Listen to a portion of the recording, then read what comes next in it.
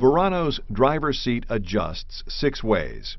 Manually adjusting seats slide forward and back with the pull of a handle located at the lower front area of the seat. Seat height is adjusted by moving the middle lever located on the side of the seat cushion up or down.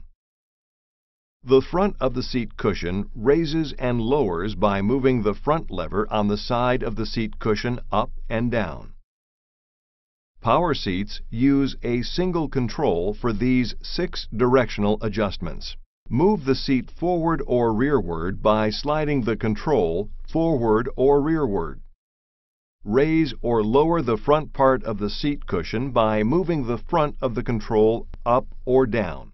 And raise or lower the entire seat by moving the rear of the control up or down.